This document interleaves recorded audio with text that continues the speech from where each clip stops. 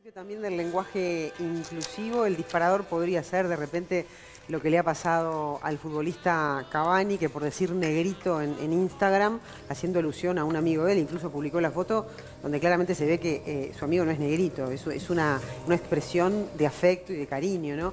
Y él explicó incluso a los ingleses que en el Uruguay se utiliza mucho el término negrito para, para nombrar cariñosamente a, la, a un amigo, un como decirle gordi, ¿no? Claro, no lo entendió así, parece que le pueden hasta llegar a aplicar una multa. Él después sacó ese mensaje para no tener problema, pero de algún modo esto nos lleva a, hablar del lenguaje, eh, del racismo en el lenguaje.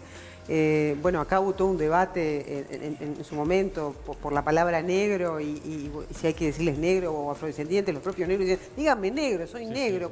¿Cuál, es el problema, no? El capitán de la Unión Argentina de Rugby también, lo que están a punto de rajarlo también por su compañero. Sí, racista total. Sí, vamos a, saludarlo a Adolfo Elizainzín, que es académico, es lingüista, integrante de la Academia Nacional de Letras. Gracias por aceptar la invitación, primero que nada. Gracias a ustedes. Gracias. Y, es un buen momento para, hablar del lenguaje, ¿no? Y para hablar también del lenguaje inclusivo. Pero me gustaría primero una apreciación suya sobre lo que le pasó a Cavani. Ajá. Bueno, primero que nada, creo que hay cosas más importantes en la sociedad en este momento que hablar del lenguaje. Pero bueno, el lenguaje forma parte de, la vida de todos, así que eh, hace a la cuestión.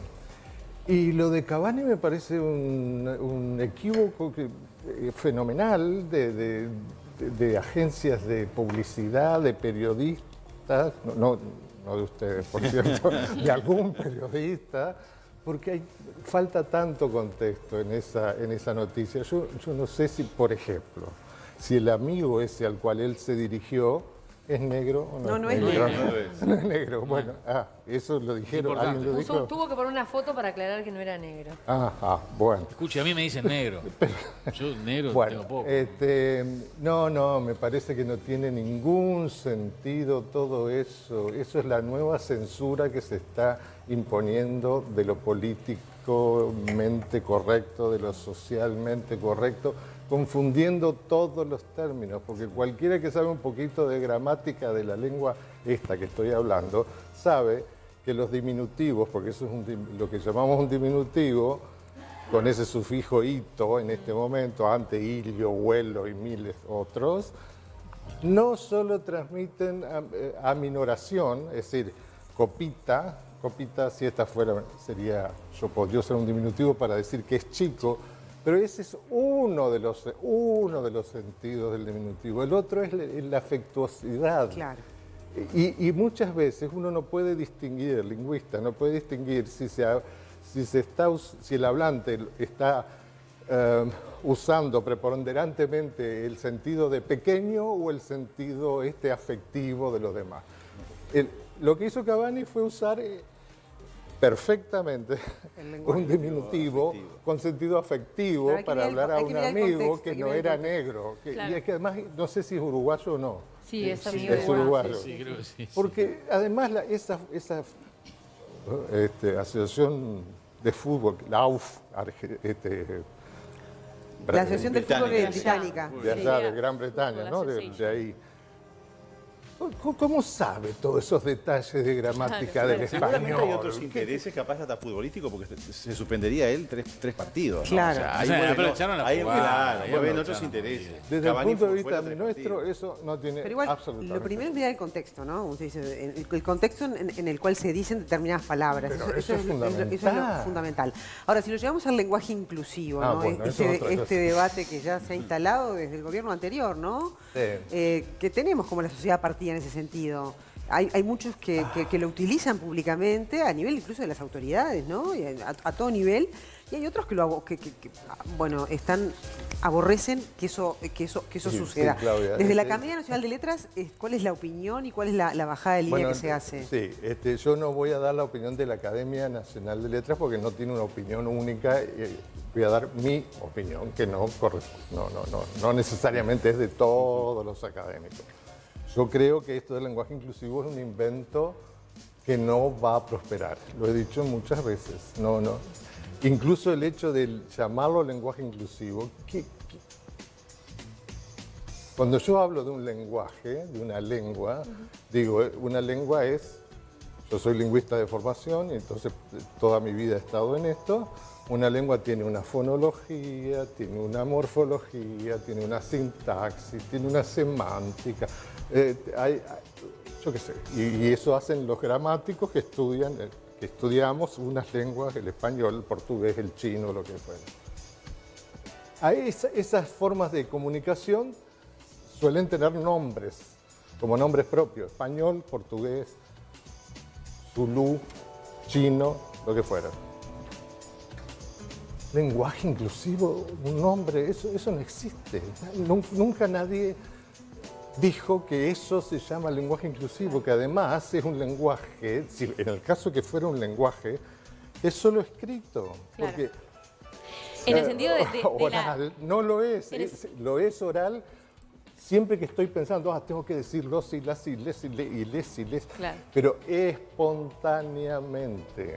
En ese sentido, en la oralidad, que quizá se puede dar más libertades, ¿no? Sobre todo, bueno, hace un tiempo acá estábamos hablando de las distintas lenguas, de las distintas este, formas de hablar, dialectos entre barrios, entre edades. Eh, ¿Se puede como darle un visto bueno en la oralidad, quizá no en la escritura, no para cuestiones formales, capaz que no, este, si en el liceo voy a presentar un parcial, pero en la, en la oralidad, ¿hay más libertades? Sí, en la oralidad, cuando las personas que pertenecen al grupo que usaría ese lenguaje, usara formas del, lenguaje, del así llamado lenguaje inclusivo espontáneamente sin, como estoy usando espontáneamente ahora español, prácticamente sin pensarlo, sin pensarlo, no, no, sin querer decir eh, efectivamente por alguna razón que no es lingüística, sino que es política e ideológica, básicamente. Política e ideológica, básicamente. Este, en ese momento, cuando llegue ese momento, cuando todos quienes integramos la comunidad usuaria de ese lenguaje así llamado lenguaje inclusivo, usemos espontáneamente, pues ahí es el momento en que esa lengua empieza a existir. Es parte de un acuerdo social entonces. Ay, claro.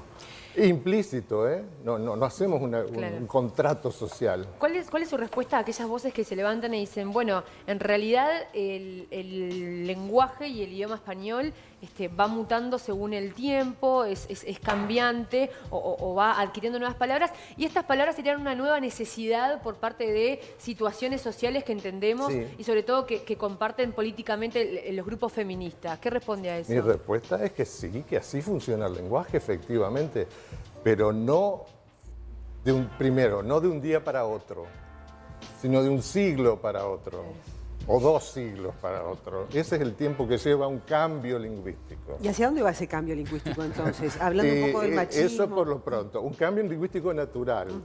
Ah, y la otra pregunta que me decías es... Eh, claro, que, muchas personas dicen, bueno, en realidad las palabras vienen a, también a, responder a ah, una necesidad social y política. y de todo, social, política, técnica, ratón para esto, por ejemplo. Google, googlear. Google, exacto. Bueno, pero, pero la regla de oro en esto es que la gente lo use espontáneamente.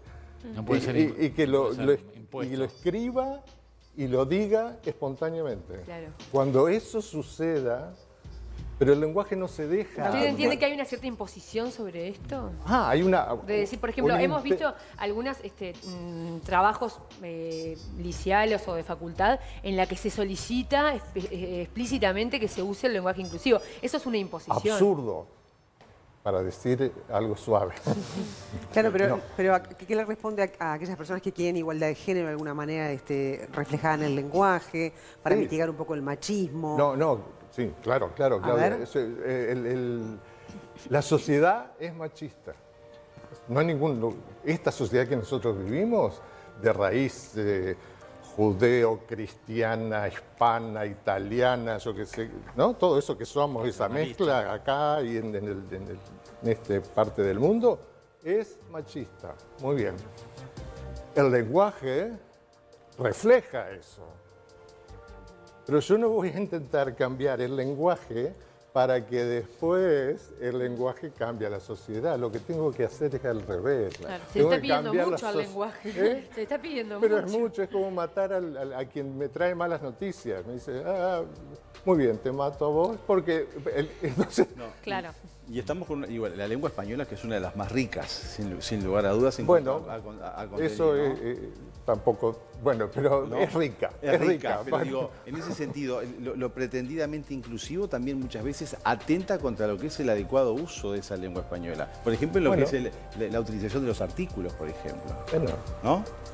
Y las la, gente cree que, bueno, se cree en general que es simplemente cambiando una O por una E ya está, todo arreglado. No está arreglado porque en la gramática de nuestra lengua está tan metida la cuestión del género que lo muestra por todos lados. No solo lo muestra en, una terminación O, una terminación A, que no siempre, por supuesto, es masculino y femenino, sino que lo muestra en concordancias de unas palabras con otras. Entonces todo se encadena, es como un, como un código donde uno toca una cosa y se desbarata todo. Eh, no es No hay intención discriminatoria, este, eh, no hay una intención de discriminar. Ahora, eh, ¿qué es lo correcto decir? La presidenta... sí, sí, la presidente. La, presidente. No, bueno, correcto. El este, presidente el vicepresidente, este, Beatriz Argimón. ¿Cuál, es no, el? presidenta, el presidenta no. No, es y, Eso y seguro que no. La vicepresidenta. La vicepresidenta. pero el presidente, la, la, intendenta, por ejemplo. Pero el presidente no es el que preside y ahí la figura es masculina o femenina según se diga el presidente o la presidente. Claro, lo que hace el... Hacer esa distinción no, no, no está establecida así gramaticalmente. Pero se puede decir la presidente...